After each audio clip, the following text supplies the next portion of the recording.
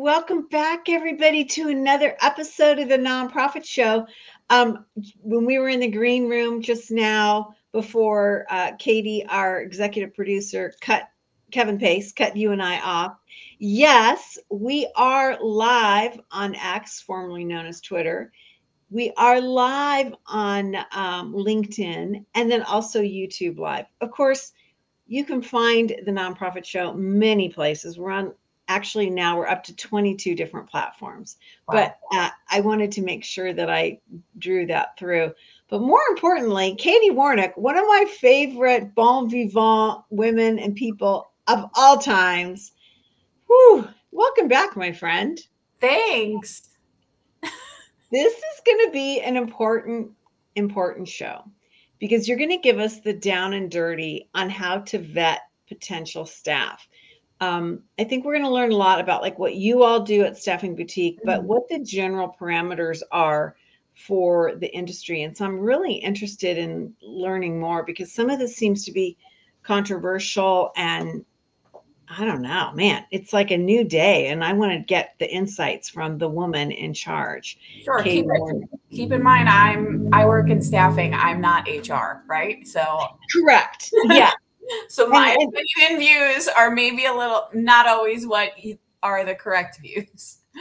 Well, and I love that you said that because that's why I want your voice on this. Sure. You know, I think that you are you're living like what's the reality of these outcomes. Mm-hmm. Mm-hmm. Right. And so I think that's what's really interesting to get this perspective because to to me, I feel like it's a truer perspective as to how it's going to actually impact our mm, sector. 100%, so, yeah. Yeah, really amazing. Well, another 100% are, is the sponsorship that we have and the partnership, I should say, with these amazing companies. And they include Bloomerang, American Nonprofit Academy, Staffing Boutique, Nonprofit Thought Leader, Fundraisers Friday, our new Friday episodes, and Your Part Time Controller. We have these amazing, amazing co hosts. I'm Julia C. Patrick, CEO of the American Nonprofit Academy, flying solo today with my friend Katie Warnock. Um, and so, Katie, let's dig into this. Talk about Staffing Boutique and what it is that you all do, because I think this is riveting and you're such a unique sure. uh, part of the sector. Yeah, so I am the founder of Staffing Boutique. We are a full service recruitment agency specifically for the nonprofit sector. So we do temp, temp to perm, and permanent recruitment on a contingency basis. So we are serving nonprofits and charter schools in the New York, New York City area mostly. Mm-hmm. That's what we do. It's an amazing thing because you've spent a lifetime in in labor and staffing and all of these things right? I mean this is this is really a trajectory that's followed you since you graduated from college right? Yeah it's 20 years. I can't believe it. I've been doing recruitment for nonprofits and i had no idea what philanthropy was when i entered this world. And so 20 years of basically eating breathing and sleeping fundraisers and teachers is how i live. Is how i make a living I think it's fabulous. Well, you know, we're really proud of you because I have to de- declare she was educated in my home state at ASU. So that's why I'm like, well, that's why she's so successful. So yeah. I'm just saying. It. I'm just saying. Well, let's get into it. And, and we have so much to cover, but I want to ask you the first thing when we're vetting potential candidates, these letters of reference, recommendation, what do they mean? And and how powerful are they? I have views on this. So i, I don't think that they hold a lot of weight. Um, okay. I, I, personally don't read them. I know that sometimes um, my clients will ask for them. I have seen them be useful if someone is downsized and they you know they want to be kept but their boss was like we have to cut somewhere. We're so sorry to see you go. Like so that's that that works. You know, that's that's a nice little bonus to a full job process. Um, but when someone is just sort of putting forward a letter of reference without asking for one, it's a little suspect, I think, um, because you're obviously going to give a letter of reference from someone you know that is going to give you a good reference, right? It's basically the same thing as reference checks. Like no one is going to give you a phone number or an email for you to do a reference of someone that's going to give you a bad reference. Mm-hmm. So, you know, it is a nice add-on, but but I don't think that they're necessary. Is there a level of prestige that gets associated with who's that that title or that name on the letter? And if you if you have somebody prestigious, even though they might have written just a very short snippet, does that have some cachet? Is that a value or just? I believe so. Yeah. If it's coming from the CEO or the executive director, you know, I think that that always holds a little bit more weight than just the HR person. Mm-hmm. You know, yeah. Yeah. just sorry. sorry, HR. well, I mean, it's kind of an interesting thing because you know, you look at these things and, and you're like, to your point, who's going to write something that's not great mm-hmm. um, for the most part, or they're just going to be um, dragging their feet on getting it done, getting it back to the person if somebody's asking for a letter of recommendation. Um, and then the other thing, before we move on, I'm curious about these these reference late letters and how old they can be like I remember looking at a letter of reference once and that came across my desk and it was eight years old, seven or eight years old. And I was kind of thinking, this is a long time. I mean, this this has no no temporal value. And I'm wondering yeah. if there's a rule for that or what what you think. Yeah, I think it should be fresh off the job that you're coming from. Okay. For sure. Okay. You know where else I think it could be helpful too? If there's someone that is going back to school for like a master's or a doctorate or something like that, and they're getting it from, um, you know, a department head, you know, maybe mm-hmm. they took some time off from work and, you know, I think that that, that holds weight as well. Mm-hmm. Um, you know, this person stopped working, went to school to finish this XYZ, and now they're entering the workforce again. I, I like them in that situation. Mm-hmm. Yeah, I think that's, that's wise. That's mm-hmm. that's a smart way to go. Well, let's look at the next thing, and this is a little bit more controversial. I would say, especially right now in a general election where there are a lot of um, opinions. okay, what is up with reviewing social media activity? Yeah, I mean, yeah, I mean, at this point, I think that we all should know the basics here around social media. Like, basically, anything that you post on the internet is public information. And yeah, we are going to search you. Um, we're going to do Google searches. We're going to look you up on LinkedIn. We're going to look at your Facebook. We're going to try to find you. So, you know, from that perspective, if you're in a job search, you should really tighten up those sources regardless of who you are or what you're posting you know specifically if you're in a job search.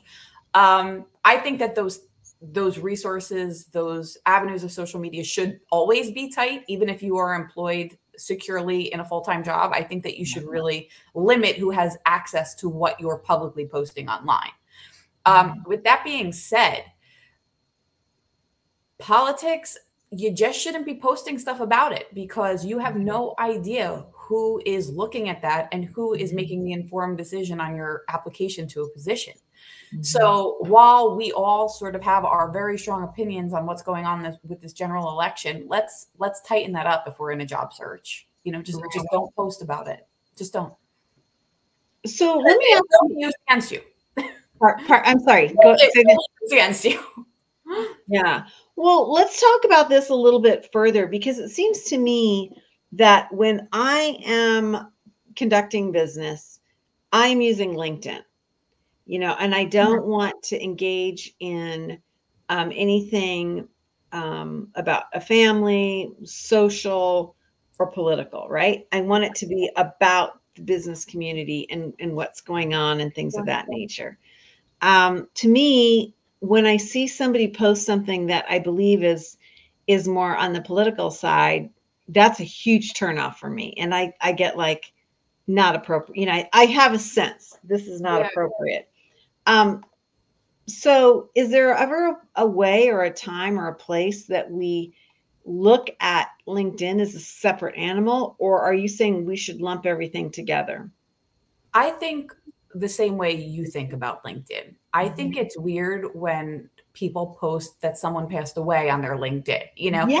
I think it's weird. I think it's alarming. And I, and now that I'm even saying this out loud to you, I'm wondering like, is there do they have like an auto social media uh, post that's like it's going to all their socials because yeah. I think that those things should be personal and they should be posted on your Facebook or Instagram or whatever else you're using. But if you mm-hmm. are on LinkedIn, I don't think that we should be seeing that. Now, on the mm-hmm. flip side, in my opinion, you know, when you run a marathon for charity, that should be on LinkedIn. Yeah. You know, yeah. so so there is sort of that like let's pick and choose. Sometimes I don't think that people have that wherewithal to even have that thought you know, I think sometimes it's so instant and we're so used to posting everything that we're just posting just to post because we like the likes and we like the gratification that we're getting and we're sharing with our community, right? So mm-hmm. for me, yeah, I do think that LinkedIn specifically should be just about business or whatever we're engaging in or the community and stuff like that. I don't think that you should be posting anything political on on LinkedIn. Um, but you know, if we're jumping on top of that, if you are in a job search and you're still posting politically political driven stuff on a public Facebook page, mm-hmm. you can't assume that nobody is looking at that. So you really need to tighten. But even if your stuff is, you know, private, you have no idea. Someone could be screenshotting it. Someone could have a mutual connection. You know, you really have to just say, okay, I'm not going to post on social media during the job search. Yeah. You know, tighten it up. Yeah, I love that you use the phrase "tighten it up" because it's it's not um, saying um, it's it's not advocating disengagement or filtering as much as mm-hmm. much as it's just saying for a period of time let's be more thoughtful about it mm-hmm. and uh, and more intelligent i should yeah. say you're you're going through a phase in your professional career which should be looked at from your social aspect, right? Yeah. So you need to put those two and two together during a period of time and just be like, okay, I'm going to step back from posting on social media. Mm-hmm. Right. Do you um, ever, as a follow up to this part of our conversation, do you ever advise your teams, your recruiters to tell the folks that you are looking at and just so you know, we are going to review your social media. Or do you feel like everybody just knows that this is going to happen? I think it's, it's common knowledge at this point. Yeah. It's a conversation that I have when people come to me and say, you know, I'm having trouble getting interviews or I'm having trouble getting mm-hmm. hired. It's a, okay, well, let's look at your social media. Is there something going on there? Is that why you're not getting interviews? Is that why you're not getting hired? You know, it's more of like a reflection thing. We're not mm-hmm. saying it. I mean, we Facebook started in 2000 and what five, six? Like this has been around a long time at this point. I, I can't tell you what to do. You know, I, I think that we should just assume to tighten it up. yeah, I love it. I think you're right.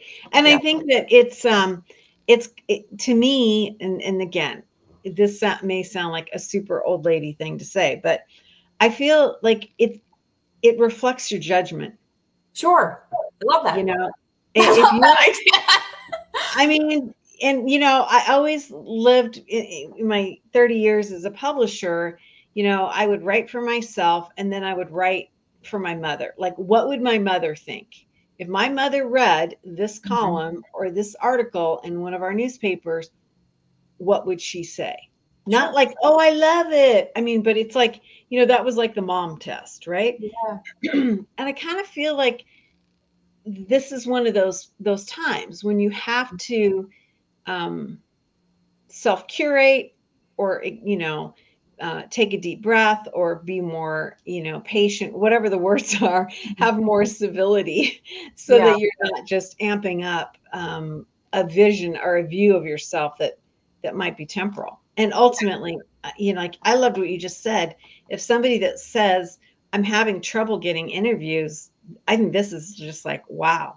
Mm, yeah. Let's look. Wow. Okay, let's go on to the next thing about prior employment checks. How far do we go back? What do we look for? And I've got to ask this question what about the time and the duration of how somebody's staying in a job? Yeah, sure. So, obviously, when you are filling out an application for a position, it will ask you your, I think, the last three positions that you worked. Mm-hmm. Now, when we're talking about an employment check, you know, we're talking about a piece of a background check that's going to verification that's going to verify the dates that you were paid mm-hmm. by employment by employers basically. So that's going to come up in a background check if you're running the employment piece of it. Okay. Um, that's verifying dates that you were earning income during the dates of the periods that you wrote down that you worked for okay. the purpose of uh, just an application process, you know, go back two or three jobs. You know, that's really all that matters. Um, and if HR is going to check that, they are going to verify that you actually were employed with the start date and end date that you indicated. Because a lot of times people might have a, a gap in their resume and they just add on that maybe they worked someplace an extra six months or an extra nine months that led them into the next year. And if they're running an employment verification on that they that will come up that oh no this person actually ended in march of 23 not january of 24 you know? So you really do need to be accurate and not mm-hmm. embellish because someone could do a reference check on that or an employment verification that's run through background. Okay interesting. Good good advice because yeah I can see where you're you're also you're just like, yeah, it was about that time versus really nailing it down and being yeah. specific. Yeah, super interesting. Be honest about the the month and the year for sure. Right. Let's move on to education and certification checks. So many people go out and get continuing education credits or mm-hmm. they spend money, you know, pursuing advanced degrees on top of you know, mm-hmm. their their post secondary. What are your thoughts on this, and and how does this get checked? Yeah, so I have to be honest. I've never seen this happen. Mm-hmm. You know, okay. I've seen education verifications done through a background check be mm-hmm. important. Mm-hmm. You know, did this okay. person actually graduate from XYZ school in this year? Does this person actually have a master's? And was it completed in this year? But in terms of any like CEUs or continuing education, mm-hmm. no, I've never seen a verification. If that was ever um, something that was important or imperative to the job at hand, they would just accompany that with their application process in terms of like the certificate of completion. I've never okay. seen it be checked. Okay, interesting. But hang so, on to those certificates. Pardon me? Say that hang again. Hang on to those certificates because you do get certificates of completion with those programs. You know, hang on to them. You never know when you're going to need them. Yeah. Awesome. That's really good advice. Absolutely. I know that in LinkedIn, um, there's a place where you can store those, them. Yeah, you can. Yeah. And I think that it just seems to me, Katie, I mean, everybody and their brother, uh, it seems like they're adding these certification pro- programs. You know, you're just seeing more and more and what do you mean? Do you mean that more and more people are attending them, or more and more people are having these certifications and like they're becoming more of a thing? They're becoming more of a thing. So, you know, um, uni- yeah, universities are mm-hmm. offering them, uh, community colleges. I mean, even if, if you look at professional development, that, and this is not just in the nonprofit sector, but um, organizations that are like if you will trade groups or professional associations mm-hmm. are offering these types of training tracks um, and i think it's a good thing but it, it's usually a pretty hefty investment. It's not it's not free and it takes some time. It's usually there's scoring involved testing involved you know things of that nature. And so um, I you think it's my, you see my face. I'm a little skeptical here because okay, you know I've been seeing that a lot as well, and it's almost like mm-hmm. there are these master classes that people are mm-hmm. charging for, and it mm-hmm. seems almost like a Ponzi scheme to me. And you know, like what's the accreditation? Is there an accreditation? It's it's kind of like the Wild West at this point. Like anyone with yeah. a social media following can be like, "Hey, we're holding this." This group, this study group, this focus group to concentrate on these skills over the mm-hmm. next eight weeks, enroll.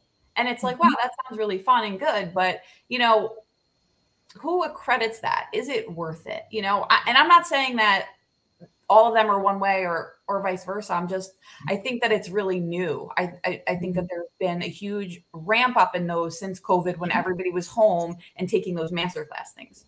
Yeah, I I totally agree with you on that.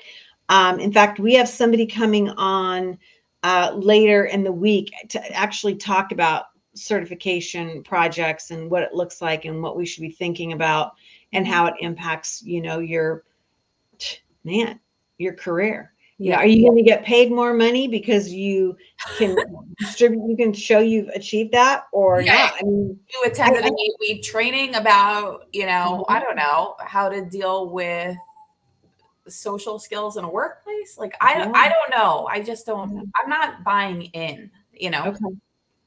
Interesting. Well, it's good to get your perspective because at the at the end of the day, you are somebody that is making a lot of decisions for people in this employment environment. Mm-hmm. Um, and if that's your leadership, you know, um, and your mindset, I'm thrilled to know more about it and to kind of get a feel for it because um, it's reality, right? It's the reality. Please don't get me. I love professional development, but I like accredited professional development from a company that has been in the industry and has worked with, you know, Fortune 500 companies, and you know, maybe they have some sort of specific programs, you know, that they discount for nonprofits or something like that. I'm on mm-hmm. board. I love that. It keeps people engaged. It, it teaches them so many skills, especially in a world where a lot of people are working from home. Like it's really good to upskill that way. Um, but at the same time, the other sort of just random certifications that are happening on my Instagram feed willy nilly is yeah is what I'm being skeptical about. Yeah, no, I appreciate that. I think it's yeah. an important thing to to uh, understand, especially since there's such a huge financial and time commitment. Mm-hmm. Yeah, you know, really, really important. Well, let's get on to one of the biggest things, and that's like the process a background check, screening, checking records. Talk to us about what this looks like, how long it takes, mm-hmm. how expensive it can be. Like, what are your thoughts on this? Yeah, so background checks, you know, most companies like myself, we use a third party to outsource our background checks. I luckily found a company that allows me to do a la carte rather than paying, you know, a, a monthly subscription. They're great. Um, and you basically are just paying for the checks that you want. So the most common is the national criminal, which is pretty standard for employment. And then I allow my clients to pick and choose what else they want. I work with a lot of schools, so obviously we're doing the the sex um, the sex offender registry. That's also a national search. And then really anything else you know i've done cfo searches and bookkeeper searches um, that we had to run credit you know checks because it was imperative to the job function. If someone can't you know keep their finances in order they probably shouldn't be in a financial capacity at a nonprofit. So it's totally up to the client. Um, the cost associated could vary. It really depends on how many checks you want to do. I would say standard for one person could be anything from 15 to 30 dollars depending on the person Wow, that's not. I thought it would be so much more. Mm-mm, no, just depends on the person. But I would say standard. We're looking about I think like twenty seven. But I've seen it go up to forty five, and I've seen it below mm-hmm. as low as fifteen. Really depends on what registries we're checking. And how much should we um, plan in terms of time? Like how long does this take? Interesting you say that. So the company that I work with, I would say that their turnaround time is typically 48 hours. And that's even if I put something in on a Friday night, I will have it by Monday. So we're not talking about business days, which I do like it. Um, I've seen it take up to 72 hours. Uh, recently, just within the past two weeks, I had a client who has normally preferred to do their own background checks for HR purposes. They have their own vendor, etc. Come to me and ask me to do a background on someone. And I'm like, well, I could do it, but you guys usually want to do it. What's happening? You know, why all of a sudden is there a mm-hmm. change here? And she said that their current vendor is now so backed up that it's taking them three weeks to get responses. And this was a temp position, and we needed to get the person in the door, right? They, they didn't have the three week wait time. So, uh, it, whatever, long story short, we wound up doing the background, and the person was able to start on that Tuesday when we ran a background on Friday. So, you know, I would say I don't know if there's something going on specifically with their vendor, but my mm-hmm. experience in my career, I would say it doesn't take longer than 72 hours. Wow. But the reality is, it, you, these are relationships with third party vendors that you've secured and you have. So, sure. yeah. It's, yeah. it's not just like you're going to go out into the marketplace and get this done. Mm, yeah, and that is from the point that I am submitting the background check online. You also do have to get the uh, candidate to sign a release form before you do it. So, you got to get that back from them, have it uploaded into the portal, and then you can run the check. Interesting. Okay. Really good information. Um, this seems to me to be one of those those sticking points. Um, is this just a standard pro forma that everybody should be doing, or is this more at a certain level, or as you, as you said, you know, depending on what what that employee is going to be working with or, or mm-hmm. working in within an organization? What are your thoughts on this? I think all full time employees should be background checked. Okay.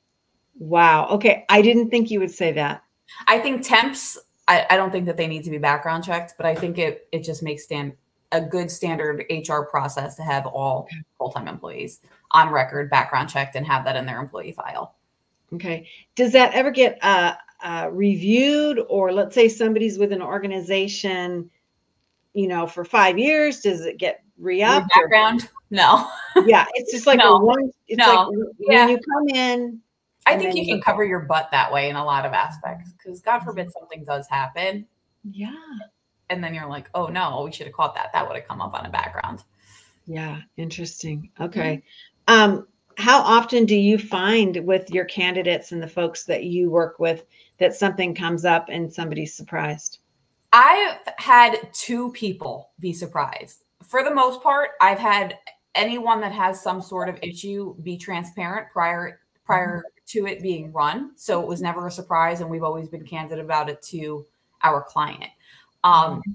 something so silly, and it was such a long time ago, but someone was uh, urinating in public on the Jersey Shore, and it came up on the background. They didn't know that it was on the background because they didn't get um, what, like they were arrested, but they weren't held, like they weren't charged. Yeah. But the arrest came up, and they were like, "What?" Like, you know, it was really funny, and it was kind of innocent, but not. But at the same time, like, just took the person anyway. But they were they were like so embarrassed. So it doesn't come up often that someone is surprised. Yeah. Well, two out of a lot of folks that yeah. with. yeah. Oh my gosh, Katie, that's amazing. Well, but I think it's really, it's really an interesting um, thought that you need to know, right? I mean, you need to be thoughtful about what this is going to look like, just like we started the conversation with your social media. Yeah, for sure. I mean, you you do need yeah, you to, to be honest. If you're in a job search and something was going on, you have to be honest with, you know, the HR person or in my case, the, the staffing firm with your recruiter. Tell them, you know, any sort of backstory you have.